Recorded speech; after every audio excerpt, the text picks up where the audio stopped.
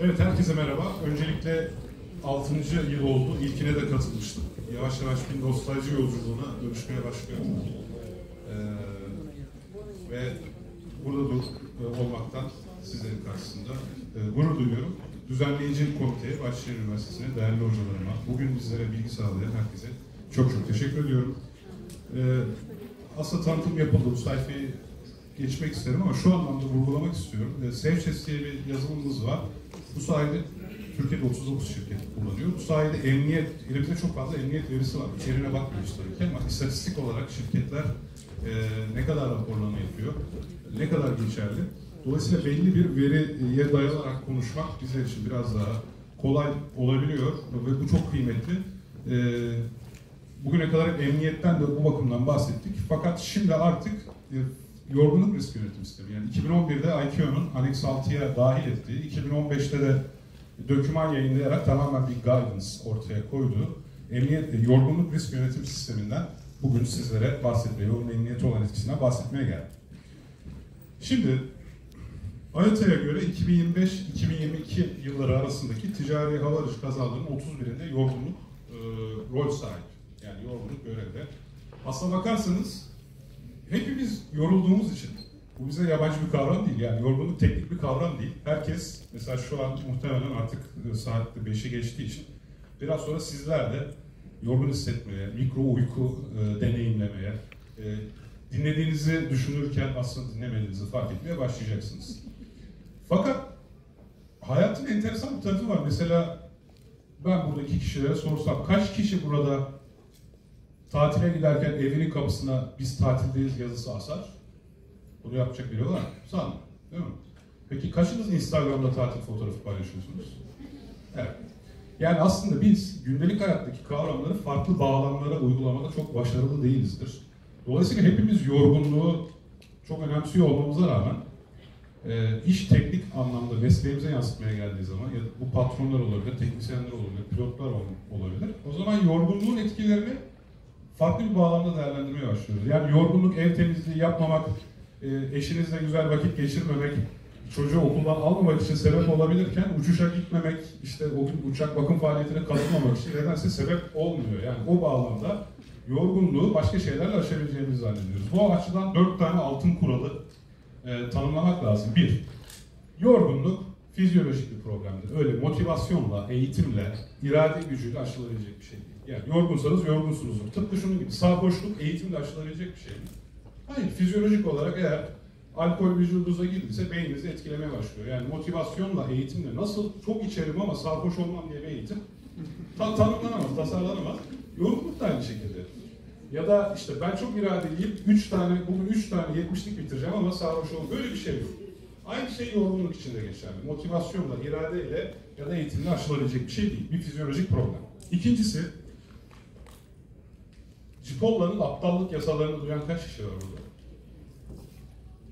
Araştırmanızı tavsiye ederim. Dört yasadan en önemlisi şudur. İnsanlar bir aptalın vereceği zararı her zaman azımsarlar. Yani hiçbir zaman hakkıyla aptalın verebileceği zararı e, öngöremezler. Aynı şey yorgunluk için de geçerli. İnsanlar yorgunluktan kaynaklanabilecek yeti, beceri kayıplarını değerlendirmekte kesinlikle başarısızdır. Bu yüzden yorgunluk kaynaklı trafik kazaları oluyor. Çünkü herkes ne kadar yorgun olsa da iki tane kahve içer, yolculuğumu tamamlarım düşüncesiyle çok yorgunken araç kullanıyorlar. Ya da bazen şunun da farkında var. Yani önünüzdeki aracı çarptınız kırmızıda. Ee, bunun sebebinin yorgunluk olduğunu düşünmezsiniz. Ee, dolayısıyla hepimiz yorgunluğun zararlarını azımsamaya ilgiliyizdir. Üç, herkes yorgunluk anlamında eşit değildir. Evet, kimimizin toleransı daha yüksektir daha zor yorulur. Kimimiz çok daha çabuk yorulur. Ee, ve bireyler arasında mutlaka bir fark mevcut. Ve sonuncusu da yeterli uykunun dışında bir çözüm yok. Yani yorgunluk için öyle herkese uyabilecek mucize bir çözüm var. Bunu yaptık yok. Yani belki kokain vesaire bir çözüm olarak düşünülebilir ama legal değil. Ya da uzun vadede daha büyük sağlık problemleri var. Artı herkese de uymaz. Ama gerçekten de herkese uyacak tek çözüm yeterli uyku ve yeterli dinlenme. Şimdi bu bilgiler bağlamında o zaman yorgunluk risk yönetimi sistemi yani FRMS dediğimiz mevzunun ne olduğunu ele alalım. Birincisi, şimdi zaten yorgunluk bir risk. Evet biz emniyet yönetim sistemi, sadece emniyet yönetim sisteminiz varsa bir FRMS kurmuyorsanız bile elbette yorgunluğu bir risk olarak takip ediyorsunuz. Ama yorgunluk burada bir risk faktörü. Ele alınan tehlikelerden sadece bir tanesi ve dolayısıyla yorgunluğu tam proaktif olarak SMS'de ele alabilirsiniz. Bugün safety one, safety two e, kavramları tartışıldı zaten burada. Ee, ama yorgunluk tam bir odakta değildir. Yani işte klasik e, hava koşulları riski neyse yorgunluk riski de aynı şekilde ele alınır. Fakat bir FRMS kurulduğu zaman doğası gereği bu yorgunluk odaklı bir yönetim sistemi olduğu için e, burada artık sonucun yorgunluk olduğu tüm faktörleri tek tek ele almaya başlıyorsunuz. Yani bir çok meşhur bir hikaye var ya bir çivi bir nalı, bir nal bir işte atı, bir at bir yiğidi, bir yiğit bir vatanı kurtarır gibi böyle bir zincirleme var. Emniyet yönetiminde baktığınız derinlik genelde siz burada nala mı bakıyorsunuz, ata mı bakıyorsunuz şeklinde e, ayarlayabileceğimiz bir noktada. Hani biz sonuç itibariyle bir riski threat nedenleriyle ele alırsak, o nedeni de bir risk olarak ele alırsak, onun da nedenini ele alırsak en, en başında evrenin bir gaz ve toz bulutu olarak ortaya çıktığı o ana gideriz ya. Fakat elbette biz işte şirketler olarak kontrol edebileceğimiz bir alandaki neden sonuç ilişkisi zincirine bakıyoruz. Burada işte yorgunluğu bu, kez merkeze alıp yorgunluğun olası sebepleri ne olabilir? Yorgunluğun olası sonuçları ne olabilir dediğimiz zaman artık yorgunluğa, büyüteçimizi yorgunluğa tuttuğumuz için bambaşka bir alan ortaya çıkıyor. Ve normalde Şimdi FRMS kimler için var onu da söylememiz lazım. Yine hep hava yolu tabanlı konuşuyoruz ama hava trafik kontrolörleri için de FRMS var ve ICAO, IATA e, ve onların meslek örgütleri de bunun standartlarını belirlemiş durumda. Yani SMS kullandığınız zaman FTL dediğimiz mevzuatla ya da vardiya düzeni, normal hava trafik kontrolörlerinin vardiya, vardiya düzeni önceden belirlenmiş limitlere bağlıdır. Ama FRMS'e geçtiğiniz zaman bu limitleri yeniden tanımlayabilme şansınız var. Hatta daha enteresanını söyleyeyim, arttırabilirsiniz. Yani iki, işte vardiyadaki üç kişiden bir tanesinin yorgunluk toleransı mükemmel. Elinizde eğer yeteri kadar bilimsel veri varsa onun 12 saatini 14 saate çıkartıp diğerlerini 10 saate kısabiliyorsunuz. Ama tabii yeterli kadar sağlam bir veri varsa. Ve sorular da değişmeye başlıyor. Yani sadece SMS ile ilgilendiğiniz zaman gözden kaçırabileceğiniz sorular FRMS'te alttakiler biraz gözükmüyor. O yüzden sizlere ben okuyacağım. Mesela havaalanı nöbetlerinde kestirmek sonucundaki uyku sersemliğinin yarattığı risk nedir? El nöbetlerinde en uygun uyku stratejisi ne olabilir? Uyku bölünmelerinin operasyonel etkisi nedir? Görevden önce veya esnasında kafein kullanımı hatta sonrasında yani görev bitti kafein aldınız eve gidip uyumanız lazımken kafein yüzünden uyuyamıyorsunuz. E, görevden önce ya da uçuş içinde kestirme, dinlenme işe yarar mı? Uzun menzil uçuşlar mı daha yorucu yoksa kısa menzil fakat fazla sektöre sahip uçuşlar mı daha yorucu? Bazı pilotların ya da hava trafik kontrolörlerinin yorgunluğa toleransı daha mı fazla? Bu soruları FRMS içerisinde araştırıp cevaplayabilirsiniz. Ya da mesela FRMS sistemi sayesinde yeni bebeği olan pilotların ya da hava trafik kontrolörlerinin yorgunluk yaşamaya başladığını fark edebilirsiniz. Böylece onlara her ay ücretsiz doğum kontrol yapı verebilirsiniz. Seçenek olarak. Ya da ya da bebeği olan e, personel için bazı yeni e, vardiya sistemleri geliştirebilirsiniz ya da park yeri sıkıntısının aslında yorgunluğa katkı sağlayan bir faktör olduğunu algılayabilirsiniz. E, bir tabii yani sağduyu mus sayesinde bildiğimiz gerçekler var değil mi? Yani sık tarife değişikliği yapmak, yoğun meydanlardaki gecikmiş inişler, hem kontrolörler hem pilotlar için. Planlanan ve gerçekleşen dinlenme süreleri arasındaki farklar bunlar FRMS'in bir verisi olabilir. Şimdi geçtiğimiz yıl 7000 pilotla çok büyük bir anket yapıldı. Avrupa Yorgunluk Anketi. Ee, ve bu ankette çok enteresan şeyler ortaya çıktı. Örneğin soldaki grafik bize katılımcı pilotların verdiği yanıtlar şöyle gösteriyor ki bu pilotların son 4 haftada yaşadıkları mikro uyku vakası gördüğünüz üzere 20'den fazla diyen %2.2'lik bir kısım bile var. Ama çok büyük ölçüde e, yani sadece %24'ü hiç yaşamadım demiş ama kalanları mikro uyku yaşamışlar. Bu çok kritik bir veri. İkincisi de yine pilotlara son 4 haftada yorgunluğunuzu tamamen atabileceğiniz kadar dinlenme, yani güzel bir uyku çekmek diyelim buna. güzel bir uyku çektiniz mi sorusuna ise yine hiç çekmedim diyen 8.7'lik bir kesim var. Rare çok nadiren diyen %18'lik bir kesim var. Ve sometimes diyen %38'lik bir kesim var. Yani burada son bir aylık verileri değerlendirdiğimiz zaman pilotların yarısı dinlenemiyor gibi bir sonuç ortaya çıkıyor. Hatta çok büyük kısmı mutlaka mikro uyku dediğimiz e, son derece tehlikeli olabilecek e, ki karasal trafik kazalarının daha çok sebebi çünkü reaksiyon süresi çok daha kısa e, çok tehlikeli bir olgunun yaşandığını ortaya koyuyor. Yine bu yıl yapılan bir çalışma var. Avrupa'da büyük bir havayolu şirketiyle e, 1271 pilotun, daha doğrusu 1271 raporlamanın yani yorgunluk raporlamasının içeriğine bakmışlar. Ve yorgunluk faktörleri olarak ortaya çıkan bazı şeyler var burada. Ee, buradaki en önemli sonuç şu odak, bunun lazeri var mı? Evet, güzel. Yani şurada görmüş olduğunuz gerçekten unfit to fly. Yani şuradaki faktörler sebebiyle ben uçuşa uygun değilim şeklinde raporlayıp uçuşa gitmeyi reddetme vakalarının sayısı. Buradaki de istatistiksel olarak raporlama sayısına bağlı olarak aslında beklenen ne olması gerekirdiğinin e, sayısı. Ve burada sadece ve sadece beklenenden çok daha az e, unfit to fly durumu çıkan tek bir faktör var. Çünkü bu raporlama esnasında e, şu, bu seçeneklerden birini seçmeniz gerekiyor. Yani duty period sırasında uçuş işi dinlenme dediğimiz yani napping e, veya hatta kokpitte napping yapılırsa eğer e, unfit to fly durumu geçiyor. Yani burada pozitif olarak ayrışan sadece bu var. Ve geriye kalan durumlar gördüğünüz gibi bunlar e, yorgunluk sebepleri ve faktörleri olarak belirtilmiş. İlginç e, olan kısımsa şu, mesela roster length, roster'ın çok uzun olması, nöbetten gelmek, standby activation, bunlar hiç unfit to fly durumu yaratmış. Ya da unforeseen operational circumstances ya da early morning shift. Bunların hiçbirisi e, şey yaratmamış. Unfit to fly, yani ben uçamayacağım, çok yorgunum durumu yaratmamış.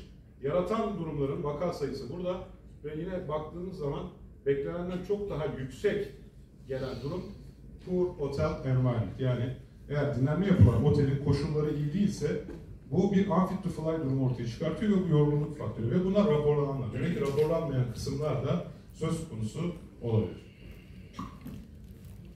Şimdi bu görmüş olduğunuz tablo bir FRMS sisteminin sonucu. Yani siz bir fatigue reporting, bir yorgunluk raporlama ya da artık bildirimi diyebiliriz. Bir yorgunluk bildirimi. Bildirmek bence çok daha şey bir kelime. Türkçe'ye e, zaten raporlama batı kökenli kelime ama bildirmek. Yani siz zaten bir şey biliyorsunuz bir başkasına bunu bilmiş hale getirmek, biliyor hale getirmek. Ben de bundan sonra hep onu kullanacağım hocam. Konuların anlatmak falan önemli noktalardan bir tanesi. Bunu bildirmek sayesinde ortaya çıkan bir tablo. Yorgunluk mesela solda görmüş olduğumuz pilotlar için, sağda görmüş olduğumuz hava trafik kontrolörleri için IATA'nın, IQ'nun e, ortak çalışmaları sonucunda ortaya çıkan raporlar. Bunlar temel raporlar. Tabii ki şirketler bunları customize edebilirler. Her şeyden önce FDM bugün hepimiz övdük. FDM çok önemli çünkü kantitatif ve nesnel bir veri sağlaması bakımından. Ama FDM yorgunluğu ölçen. Yani FDM yorgunluğu ölçmesi için KVKK'yı tamamen aşıp yorgunluğu algılayan bir yapay zekayı kokpite koyup pilotların hareketlerini sürekli kamerayla takip ederek belki bir gün olabilecek bir şey, FDM'e dahil olabilecek bir şey ama çok da uygun değil, güvenilir de olmayabilir. Ama şu an pilotun yorgun olup olmadığını ya da bir hava trafik, trafik kontrolörünün yorgunluk yaşayıp yaşamadığını anlamamızın ve öğrenmemizin yegane yolu onun bize o kişi tarafından raporlanmış olması. Ve az önce altın kuralda söylemiştik, insanlar kendi yorgunluklarını şey yapmada başarılı değiller. Tespit etmede, ölçülerini. O zaman o raporların bile maalesef belirli bir e, güvenilirlik problemi var diyebiliriz. Tabii bu ölçümleri ve raporlamaları kolaylaştırmak için çok basit ölçekler var. Mesela bu Karolinska Sleepiness Scale, yani Karolinska uyku ölçeği. İşte burada bir extremely alert, yani çok zindeyim, harikayım, her şeyin farkındayım. 9 ise extremely sleepy, fighting sleep yani uyumamak için mücadele veriyorum diyebileceğimiz birden 9'a bir ölçek var. Singapur Los Angeles arasında e, görev yapan 25 tane pilota uçuşun belli safhalarında e, bu Karolinska scale'e göre işaretleme yapmaları istenmiş. Çok basit bir ölçek. Mesela bunu şirketler kendi içerisinde çok rahat uygulayabilir. ölçtürdüler. Burada görmüş olduğunuz 7, neredeyse 7 seviyesine çıkan yerler var. Şu güven, şey, e, verilen ölçeğin ortalaması şu maksimum yine 7'ye çıkmış. 7 mikrosleep'in gerçekleştiği düzey olarak düşünülüyor. Şuralardaki düşüşler uçuş içi dinlenme. Yani crew rest'te yapılan dinlenmelerin sonucu. Ee, Daha sonra yeniden artıyor. Ee, Bir uçuş içerisinde mesela bunu ölçümlemek şirketlerin yapabileceği çok kolay, maliyetsiz bir yöntem. Ee, Yine sağda da birden fazla e, rota için, bunlar rotaları temsil ediyor bizim için. Hangi rotalar olduğu önemli değil. Bu inbound, bu e, pardon, iyiler inbound, oğlar outbound ve bu yolculuk öncesinde bu da son alçalma öncesindeki yani top of descent yani alçalma öncesindeki maksimum irtifada alınmış ölçümler. Görmüş olduğunuz gibi Karolinska Scale'e göre 7'nin üzerinde olduğu durumlar yapılan ölçümlerin çok büyük bir kısmını kapsıyor. Yine bir miktar daha maliyetli ama en azından masa başı meslekler için yani hava trafik kontrolörleri için çok kolay gerçekleştirilebilecek bir test var. Burada zaten bir sürü psikolog uzmanımız var. Onlar PVT yani Psychomotor Vigilance Test muhakkak biliyorlardır. Yani bir ekranda kırmızı bir nokta gösteriliyor. Kişinin bu kırmızı noktayı gördüğünde düğmeye basması lazım. Burada ve bu arada yarım saniye içinde düğmeye basması lazım. Ölçülenler şu ya laps ölçülüyor yani basmakta yarım saniyeden fazla sürmesi. O yarım saniyelik pencereyi kaçırmasına laps deniyor. Ve bir de mean response speed, yani şey mean response speed var, cevap verme süresi. Bunların ortalamalarına bakıldığı zaman hava trafik kontrolörleriyle yapılmış gerçek bir çalışma bu. 28 tane ATC ile e, işte mesai başlangıcında ortalama laps kaçırma e, sayısı 1.84 iken mesai sonunda 2.57'ye çıkıyor ve ortalama yanıt verme süresi e, bu düzeydeyken beginning of the shift yani mesai başında sona doğru azalıyor. Bu zaten sağduyuya uygun olan. Yani bunu ölçmeden de söyleyebilirdik değil mi? Yani mesai başında insanın yorgun olmadığı için dikkati daha uyanıktır diye. Fakat şu işte bu ölçümü nasıl kullandığınız çok önemli. Buraya baktığınız zaman erken başlangıç dediğimiz 10.30, geç başlangıç dediğimiz gece 11.30 başlangıcında e, ve arada bir nap yani arada bir kestirme 45 dakikalık bir nap verilip verilmediği durumlardaki ölçümlere baktığınız zaman birincisi eğer erken başlangıçta 10.30'da kestirmek inanılmaz işe yarıyor. Bakın buradaki ortalama e, reaksiyon süresinin nasıl düştüğünü görüyorsunuz. Fakat geç başlangıçta kestirmesine izin verseniz de personelin 5 dakikalık o kadar fark etmiyor. Yani e, dolayısıyla bu ölçüleri tek başına kullanmak sağduyunun söylediğinden başka bir sonuç vermezken farklı durumlar için bu ölçümleri yapmak bizlere FRS kapsamında mesaileri ve görevleri nasıl verebilir? Şimdi gelelim proaktif araçlar geliştirme kısmına FRS'te. Bu AYATA'nın önerdiği uçuş risk analiz değerlendirme aracı. Yani bir uçuştan önce belli başlı koşulların varlığı halinde bunun toplamı sadece 3 puana kadar accept edilebilir. E, 4 ile 6 arasında mutlaka işte bir gözden geçirme yapılması lazım. 7 ile 9 arasında mitigation yapılmadan uçabilmemesi lazım, risk azaltma. Yani uçuş için belli şartlar tanımlanarak e, bir tek başına bir uçuşun yorgunluk bakımındaki riskini ölçmek ve bunu her uçuştan önce yapmak mümkündür. Benim yani bizim bazı müşterilerimizden bunu dispatch'e yaptırıyorlar. Mesela dispatch e, pilotun son uyku verilerine, son raporlarına, hava koşullarına hatta yani bizim böyle bir aracımız var. E, hava koşullarının ne olacağı da tanımlanabilir. Kar var, yağmur var, görüş düşük onlar da tanımlanabilir. Toplamda bir uçuş öncesi risk belirlenerek e, o mitigate edilmeden asla uçulmasın ya da bu şekilde e, kabul edilebilir seviyede diye e, gösterilebiliyor. Ve prediktif araçlar. Çok vaktim olmadığı için hızlı geçiyorum. Biyomatematik modeller var. Biyomatematik modeller için bizzat e, geliştirenler ve ICAO'nun kendisi de evet, güvenilir değildir diyor. Yani elbette bir güvenilir, yani tam olarak bu biyomatematik matematik modele güvenemeyiz. Ama bu biyomatematik modeller kişinin geçmişini, var işte o, o haftaki mesaisini, ayki mesaisini, sirkadyer ritmini, her şeyi dikkate alarak mesela belli bir yorgunluk durumunun önümüzdeki işte Ahmet için önümüzdeki perşembe gerçekleşebileceğini e, öngörmesi bakımından iyi. Ama şu işte yani güvenilir olmadığı için bir yorgunluk ikazı veriyorsa o dikkate alınabilir. Ama bu kişi yorgun değildir demesi belki dikkate alınamaz. Yani true pozitifler ve false pozitifler açısından e, fark edebilir. Zaten neredeyse son sondan bir önceki slaytım bu. Artık giyilebilir teknolojiler de olduğu için e, bir şeyleri ölçmek daha da kolaylaştı ve FRMS uygulamak daha kolay hale geldi diye düşünüyorum. Ve sonuç olarak yorgunluk bir sonuçtur, aracıya da sebep değildir.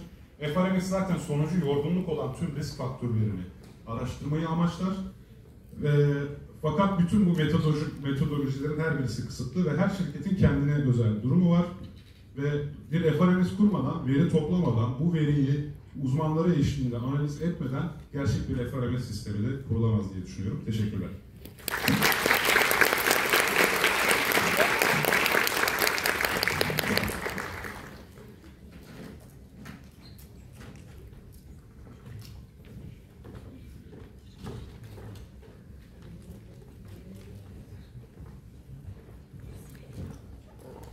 Sayın Doktor Tevfik Uyar'a hediyesini takdim etmek üzere Profesör Doktor Hakkı Aktaş'ı sahneye davet ediyorum.